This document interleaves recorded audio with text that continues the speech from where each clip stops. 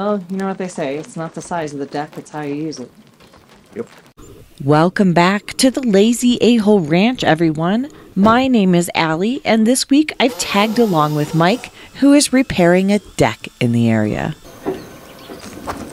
I'll be sending the ladies unsolicited deck pics later. It's raining today, so we're kind of getting a plan of attack. Well, now it's stopped. Stupid weather. Gosh, they have such a beautiful view, though. So, this is the deck in question that we're going to be working on today.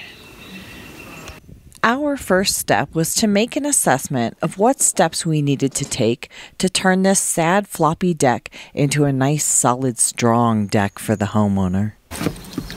Big timber that runs around the outside. It looks pretty good. Okay. Uh, I think this kind of stuff will replace that.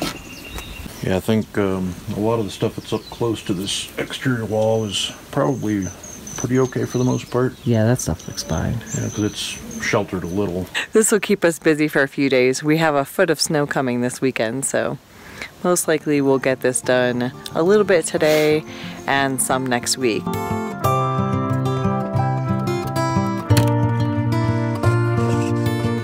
The first couple of days on the project were a little chaotic.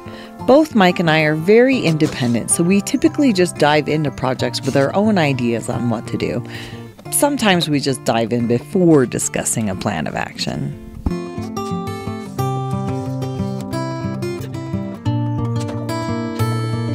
Someone had made a temporary repair to this deck, but it had some weird gaps that added to the sketchiness, along with so many boards that were barely attached. Walking around on this thing was was a little interesting.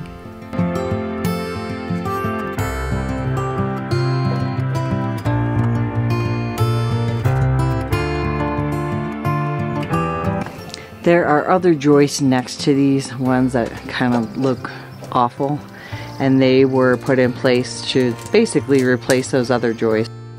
Once we managed to get on the same page, things started to go a little more smoothly.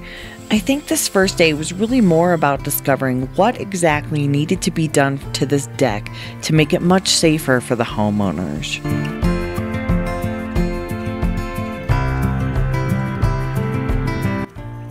I think we'll definitely have to replace some of these joists. They just all spin. I think we'll put an overlap on that one.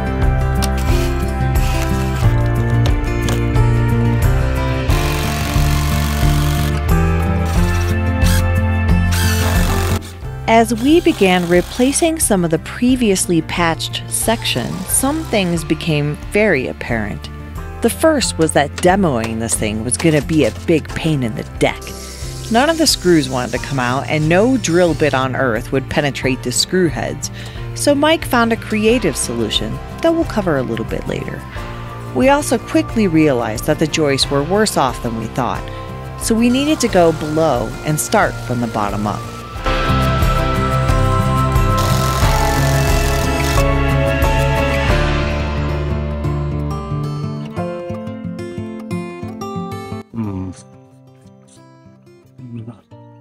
Ultra solid. Well, there's that clean joist right next to it.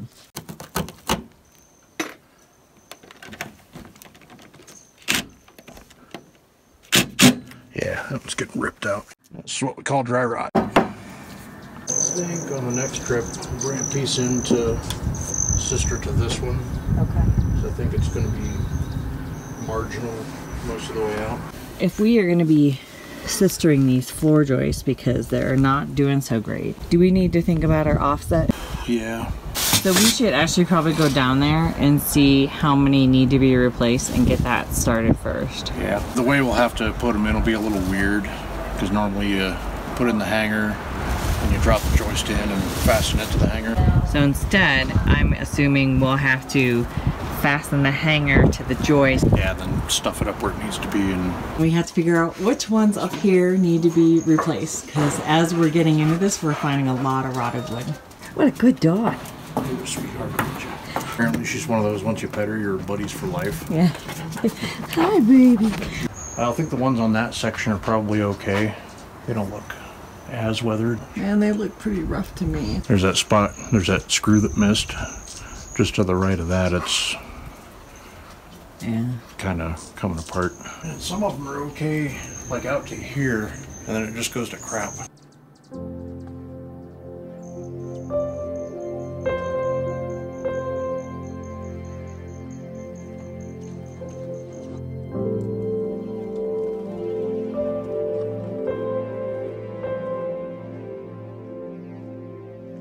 We finished up that day with a list of things to pick up so we could go full steam ahead once we got past our next winter storm. Winter storm? In May? Here in Colorado, we get snow through the end of May and sometimes into June. At the higher elevations, it's not unheard of to get snow in July.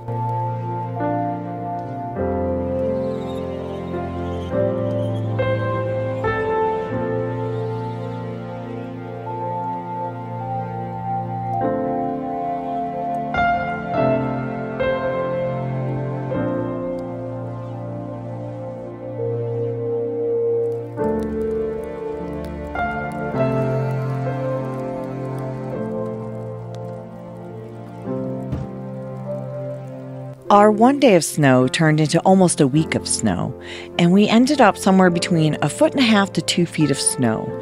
Bob the builder said he got between two to three feet of snow at his house. 18 inches of snow? I'm grilling anyway.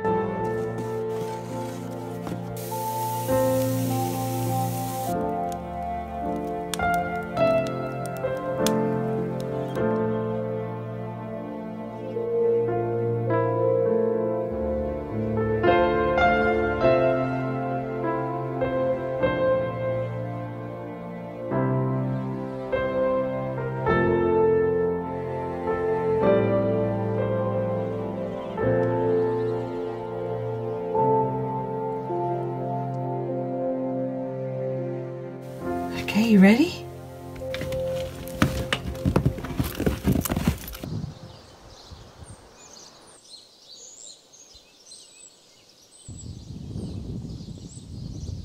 Hopefully today will be slightly less chaotic. Mike got this nifty little bit for the drill called a plug cutter. We're gonna use that and um, cut holes around the screws so we can just pull the boards off and make it go a lot faster. Because these screws don't want to come out at all. Improvise, right?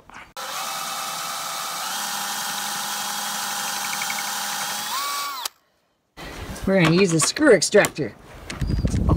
Should be the right.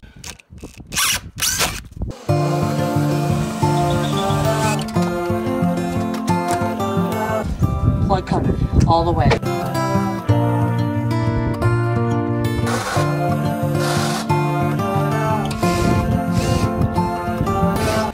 Gonna go ahead and reuse all the boards that are sturdy. So I'm saving these and setting them aside, and I'm taking out the second row and getting rid of the scrap. Of course, me, not knowing tools very well, managed to ruin the heat treat on the plug cutter almost immediately. We did get another one, but Mike managed to sharpen this one and it worked just fine. But hey, I learned my lesson.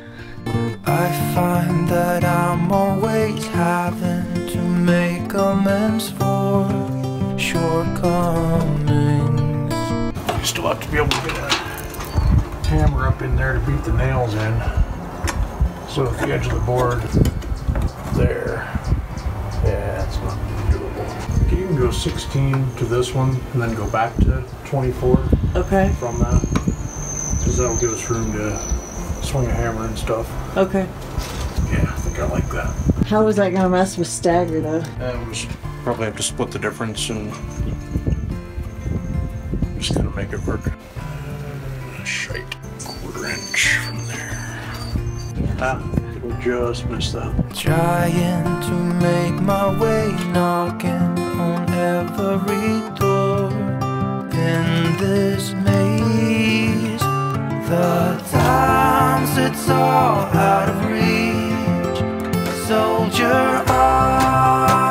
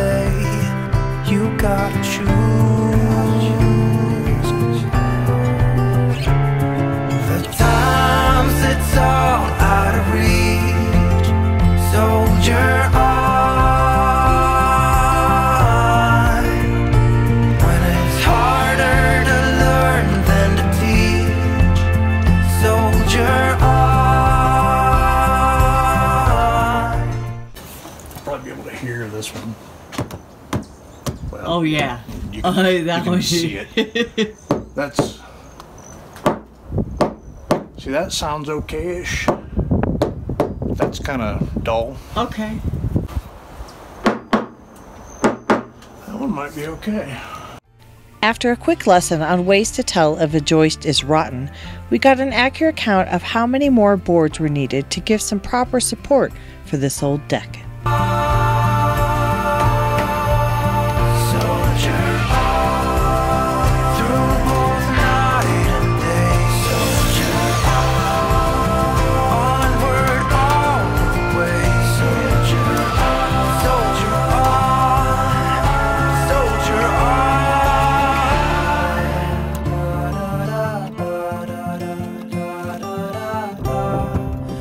It sure felt like we were moving in slow motion, but once we decided on a plan of attack, things moved along much more quickly with us finishing a fair portion of the joist and moving to the top half of the deck.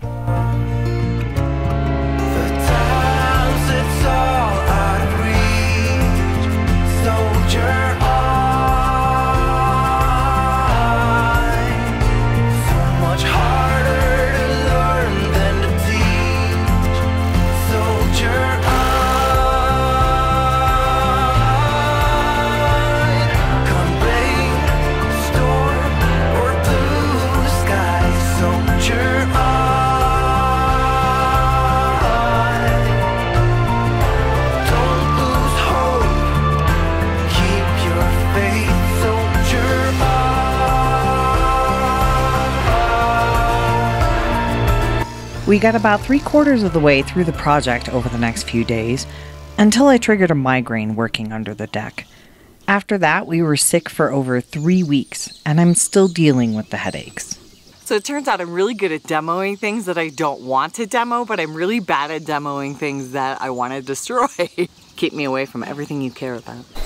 Now that we got most of the joists done, it's time to come up here and start laying these boards out. Do we want to replace this yeah, board? I think so. So start here, Yeah, I'm thinking. Uh, just go to this. yeah, wherever they fall out there, we'll just go to that. Because there's going to be some cut work anyway, just to hit the the clean joists. Today is going to be the big day of, oh wow, something happened. Yeah, get most of it knocked out anyway, because a table saw will be involved on uh, probably this row. When hummingbirds attack, hummingbird NATO. Throw me that Torx bit and I'll buzz out some of this other crap. Stick the plug cutter up here so it doesn't grow legs.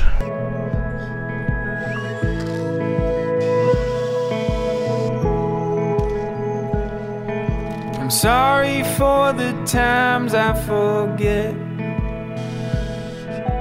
what it was like living life like a silhouette, tracing the lines and ignore what's inside till you came into my life.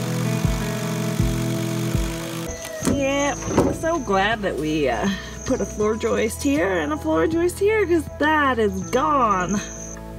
Sometimes I see it all so clear. You are the reason I'm. I was in the dark, but you were the light, guiding me through this night.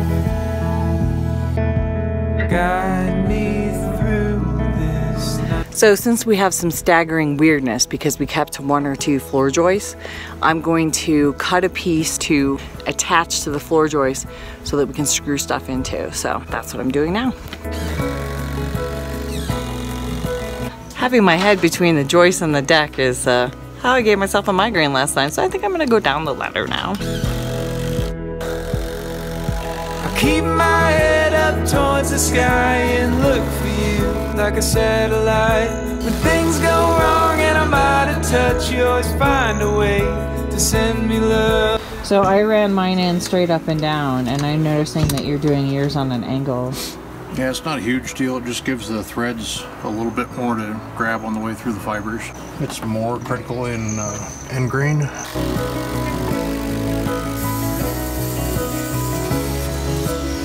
There's there's some I've noticed where it kind of it goes all the way to the end and then it kicks over like a half inch. Like the whole end of the board is like out. Yeah. It's weird. I want to say it's snipe. Does it just does it just kick when they get to the end of the board? Is that what's doing it? Yeah. Normally you try to flatten stuff out like on a planer or something. You flatten it out a little long and then cut the ends off because you know depending on the planer, the outside two inches or so are going to be a little goofy. Good before and after. Before. After. Before. After. Whoa, we're halfway there. The birds have made it very clear how they feel about this section of the deck.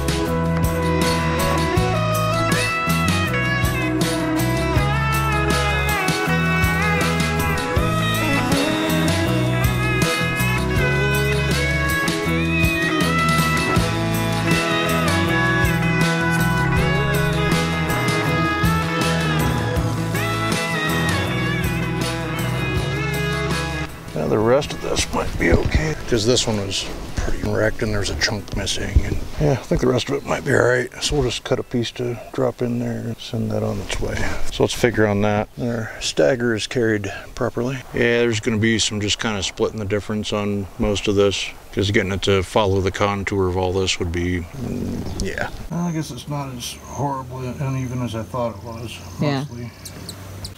Hey Mike, hand me the triangle. Um, actually, it's a speed square.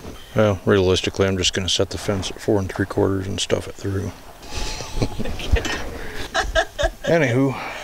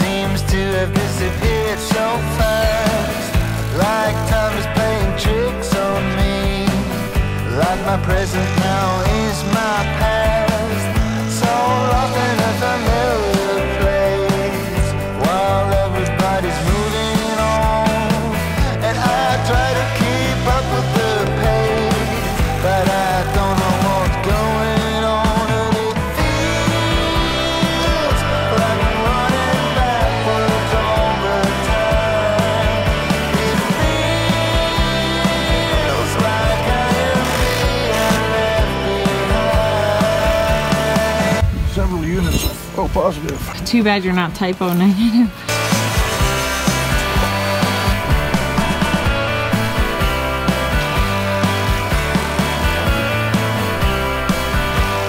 We'll go shove the stuff in from underneath and be done with that part. Yeah, because then we're down to one, two, three, four. We're sneaking up on it.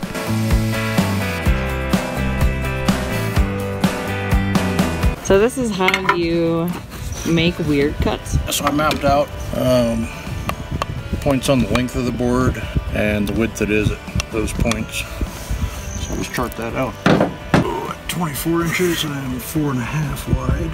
We're just using measurements on the speed square. 49 inches, I'm five.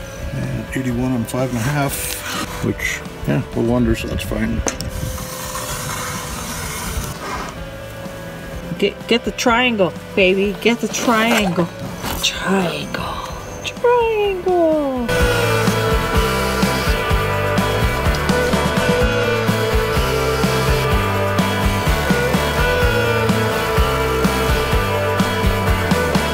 I do my best trying to make sense. Baby, you're my past and future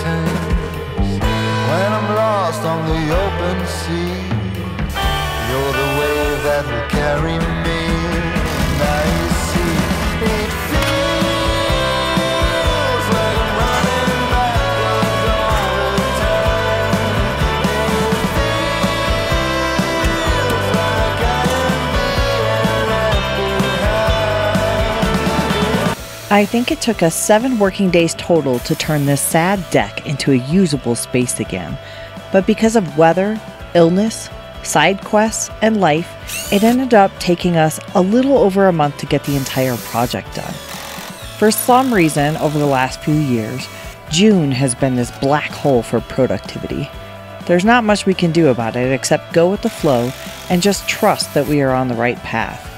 These little obstacles of life sure are a pain in the moment, but in my experience, there's a moment ahead of us where we will see the timing, why it had to go sideways, and we'll be grateful for the experience.